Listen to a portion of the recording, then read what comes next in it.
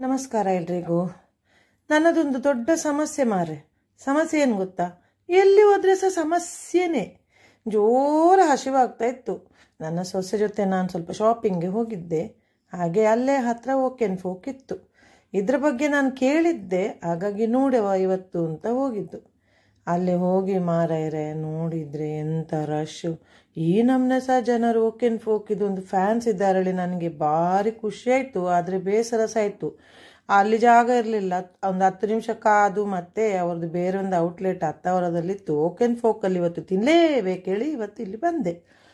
ಬಂದು ನೋಡ್ತೇನೆ ಖುಷಿಯಾಯಿತು ತುಂಬ ಜಾಗ ಇರಲಿಲ್ಲ ಕೂತ್ಕೊಳ್ಳಿಕ್ಕೆ, ಆದರೂ ನನಗೆ ಕೂತ್ಕೊಳ್ಳಿಕ್ಕೆ ಜಾಗ ಸಿಕ್ಕಿತ್ತು. ಆಮೇಲೆ ನೋಡಿ ಚಂದ ಇದೆ ಔಟ್ಲೆಟ್, ನೀಟಾಗಿ ಇಟ್ಕೊಂಡಿದ್ದಾರೆ.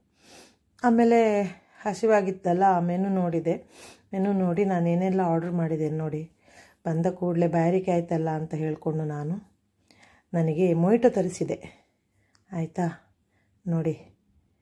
ಇದು ಪ್ಯಾಷನ್ ಮೊಯ್ಟೊ ಅಂತ ಹೇಳ್ತಾರೆ ಇದಕ್ಕೆ. ಭಾಳ ಟೇಸ್ಟ್ ಇತ್ತಾಯ್ತಾ ನನ್ನ ಸೊಸೆಗೆ ಕೊಟ್ಟೆ.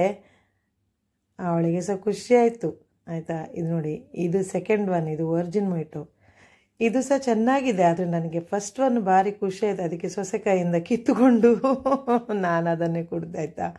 ನೋಡಿ, ನನಗೆ ಜೋರು ಹಸಿವಾಗಿತ್ತು. ನಾನು ಚಿಕನ್ ಫ್ಯಾನ್ ನಾನು ಓಕೆ ಸ್ವಲ್ಪ ರೈಸ್ ಮತ್ತು ಮೊಮೋಸ್ ಎಲ್ಲ ತರಿಸಿದೆ. ಇದಕ್ಕೆ ಈ ರೈಸಿಗೆ ಏನಂತಾರೆ ಗೊತ್ತಾ? ಹಾಂಗ್ಕಾಂಗ್ ಫ್ರೈಡ್ ರೈಸ್ ಅಂತ. ಇದು ಫಸ್ಟ್ ಟೈಮ್ ನಾನು ನೋಡ್ತಾ ಇರೋದು. ಇನ್ನೊಂದು ವಿಶೇಷ ಏನು ಗೊತ್ತಾ? ಇಲ್ಲಿ ಬಟ್ಲು ಕ್ಲೀನ್ ಇದೆಯಾ ಇಲ್ವಾ ಅಂತ ಚಿಂತೆ ಇಲ್ಲ. ಇಕೋ ಫ್ರೆಂಡ್ಲಿ ಬಟ್ಲು ಥರನೇ ಇರುವಂಥ ಒಂದು ಬಾಕ್ಸ್ ಅದನ್ನೇ ಓಪನ್ ಮಾಡಿ ತಿನ್ನುವಂಥದ್ದು. ನೋಡಿ. ಹ್ಞೂ ಸೂಪರು ನಂಗೆ ತುಂಬ ಇಷ್ಟ ಆಯಿತು. ತುಂಬ ಡಿಫ್ರೆಂಟ್ ಆಗಿತ್ತು. ಓಕೆ ಇದು ತಿನ್ನುವಾಗ ಮೂರು ಜನರಿದ್ದೇವೆ ನಾವು, ನನ್ನ ಮಗ ಸಹ ಇದ್ದ ಆಯಿತಾ? ಇಲ್ಲೂ ಲೆಮನ್ ಚಿಕನ್ ನೋಡಿ. ಇದು ಒಂಥರ ಸ್ಪೈಸಿ ಟ್ಯಾಂಗಿ ತುಂಬ ಚೆನ್ನಾಗಿತ್ತು. ಲೆಮನ್ ಚಿಕನ್ ನಾನು ಬೇರೆ ಕಡೆನೂ ತಿಂದಿದ್ದೀನಿ ಆದರೆ ಇದು ಏನೋ ಒಂಥರ ಸ್ಪೆಷಲ್. ತುಂಬ ಚೆನ್ನಾಗಿದೆ. ಆಯಿತಾ? ಆಮೇಲೆ ಇದು ನೋಡಿ. ಖಾರ ಖಾರ ಇತ್ತು. ಆದರೆ ತುಂಬ ಖಾರ ಅಲ್ಲ. ಹ್ಞೂ ಟಾಯ್ಲೆಟ್ ಮಾಡಿ ಪೆರಿ ಪೆರಿ ಮೊಮೋಸ್ ಅಂತ ಹೆಸರು. ಓಕೆನಾ? ಸಖತ್ ಸೂಪರ್ ಇತ್ತು. ಹ್ಞೂ ಜ್ಯೂಸಿಯಾಗಿ ಒಂಥರ ತುಂಬ ಖಾರ ಇಲ್ಲ ಬಟ್ ಚೆನ್ನಾಗಿತ್ತು. ನನ್ನ ಎಕ್ಸ್ಪೆಕ್ಟೇಷನ್ಗಿಂತ ಸೂಪರ್ ಇತ್ತು. ಇದ್ರೆ ಚಟ್ನಿ ಅಂತೂ ಹೇಳೋದೇ ಬೇಡ. ಆಯಿತಾ?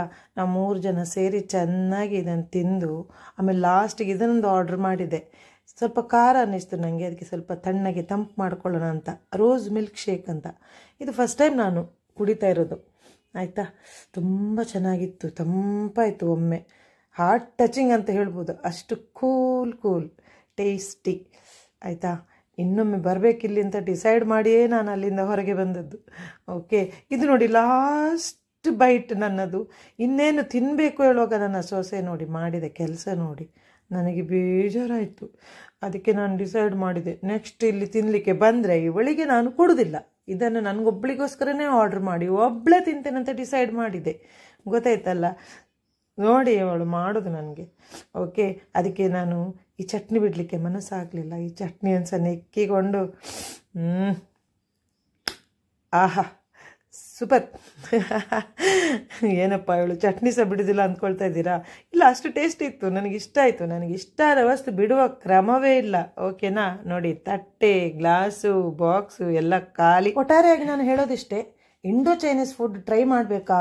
ಓಕೆನ್ folk is the best place try ಮಾಡಿ, ಖಂಡಿತ ನೀವು ಮತ್ತೊಮ್ಮೆ ಹೋಗಿಯೇ ಹೋಗ್ತೀರಾ.